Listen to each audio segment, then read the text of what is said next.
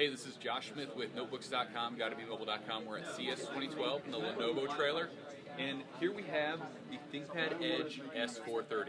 Now, I'm a big fan of ThinkPad Edge line because you get a great business sensibility notebook, a little more stylish, but it's also more affordable. The big story here on the S430 is you get a Thunderbolt port. So if we swivel around over here, you'll notice next to here, you'll see a display port with the plus plus, and that's actually a Thunderbolt port. So with this, we can daisy chain up to seven devices, monitors, hard drives, storage arrays, all kinds of different peripherals, which are finally starting to make it to market. And the S430 will use the next generation Intel Core i family of processors. So we don't have a firm release date yet. We're still waiting on Intel to kind of finish everything out.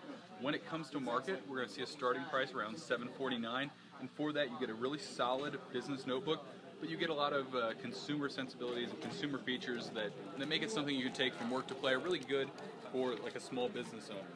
Uh, we do have the traditional track point in here, a fingerprint reader for security, and we have a nice webcam up at the top. Give you a quick port tour. Looks like over here we have our optical drive, SD card, a super speed USB 3.0, mic headphone, a nice clean front. and then over here again we have our plus plus display, our Thunderbolt, HDMI, another USB 3.0 and Ethernet, and a nice vent to keep things cool.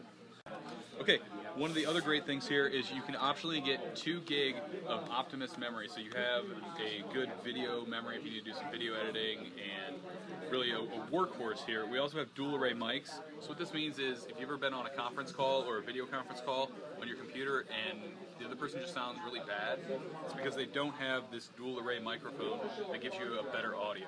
So again, this is the ThinkPad Edge S430. We're here in the Lenovo booth at CES 2012.